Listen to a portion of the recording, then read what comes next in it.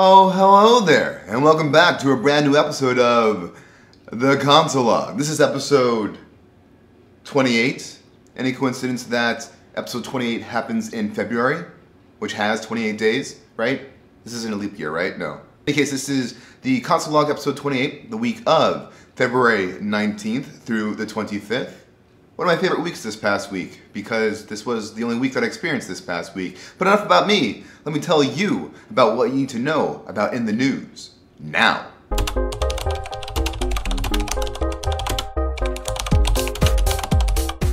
First big thing of the week is Webpack 4.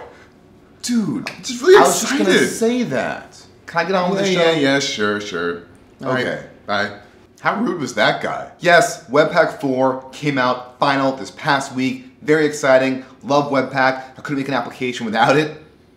No, I really couldn't. I mean, I could, but it just wouldn't be fun. If I had to have a theme for Webpack 4, it would definitely be Webpack team is definitely paying down some tech debt, both in terms of technology, but also in terms of the mind share that they've been kind of dealing with the past couple of months where people are saying that Webpack is too hard. And one of the big things that they've been focusing on in total is making Webpack even easier to get started with, which is definitely very exciting because the easier that tools can become means that more people can then become application engineers and everybody profits from that. The way that they've actually made Webpack a little bit easier is they've done two really awesome things. One is they actually have now better defaults built into Webpack 4, meaning that you can actually get Webpack 4 installed in your node modules and then just make a source slash index file and you are off to the races and you're ready to go. No Webpack configuration file needed at all. The other big thing is that there is now a new property that you can add to your Webpack file called mode. And what's awesome about this is there is two modes so far. There's development and production.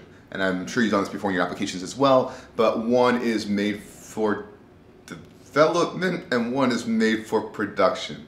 All that being said, Webpack 4 is now probably the easiest version of Webpack ever made. So if you have never used Webpack before, this is a great time to start. If you already do use Webpack 4, they've actually done a great job of making the common chunks what's it called? Common Chunks plugin now is actually gone and just built right into Webpack itself, meaning that making async chunks that you can load later in the browser is going to be easier for you as an application engineer. I have a Webpack 3 application right now that needs to upgrade to Webpack 4. I'm not worried about it too much.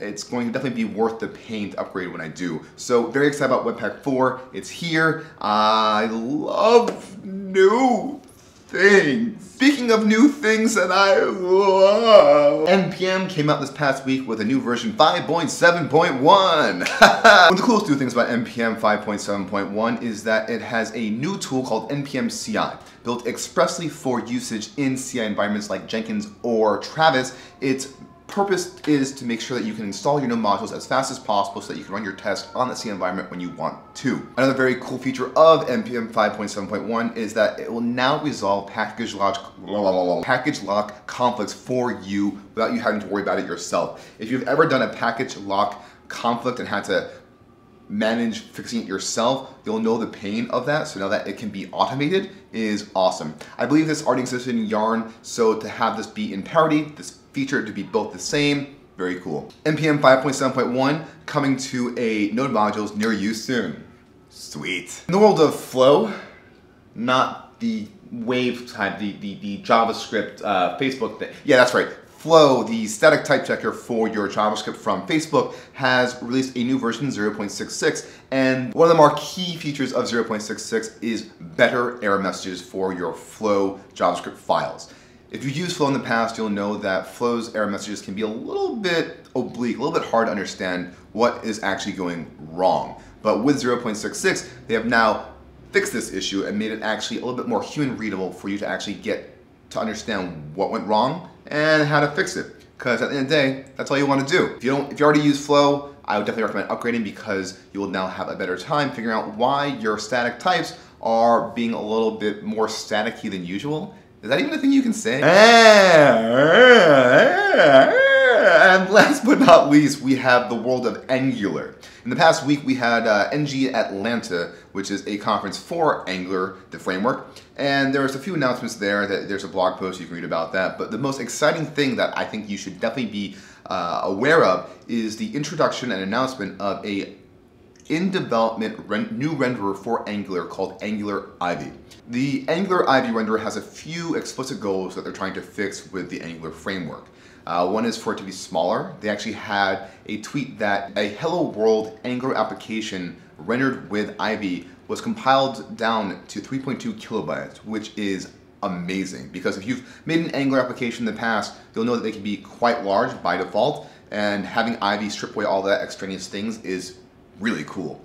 Uh, easier to debug, cool. Faster compilation, also really cool. And last but not least, the thing that I think is even uh, the thing that is most impressive and and most best is that it is going to have no breaking changes. That means if you stay up to date with Angular, at some point when Angular Ivy becomes stable, they'll just swap it in there and you'll get all these benefits for free.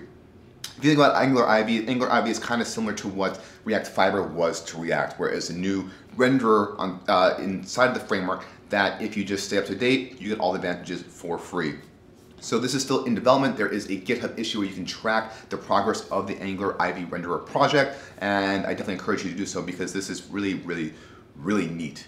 And that was the console log. I hope you have learned why is this accent from? And that is the news for the past week of JavaScript and the web. I hope you have learned a few things that you did not know already. If you are not already a subscriber, please do subscribe down below so you can keep up to date with all future Console Log episodes and JavaScript and the web in total. Ha ha ha ha ha. And I will keep coding if you keep coding, and when we stop coding, we'll come back together next week to actually talk about some more things that happened in the past week while we coded. This has been the Console Log episode 28. Catch you again next week. Bye bye.